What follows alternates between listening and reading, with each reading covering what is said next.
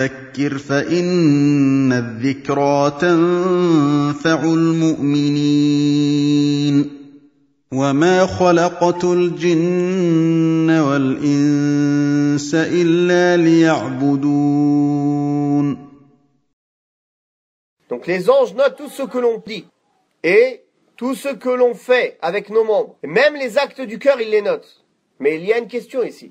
Comment ils notent les actes du cœur? Est-ce que les anges savent ce qu'il y a dans les cœurs? C'est Allah ta'ala qui les informe sur cela. Ils ne peuvent pas savoir d'eux-mêmes. Ne sait ce qu'il y a dans les poitrines qu'Allah. Quand on dit ya'lamuna ma ils savent ce que vous faites. Cette connaissance-là, elle peut venir de plusieurs manières.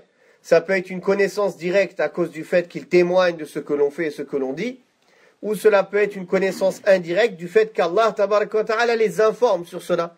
Donc ce que l'on fait d'apparent et ce que l'on dit d'apparent, les anges le notent directement. Mais ce qui est dans nos cœurs, Allah les informe de cela et il le note.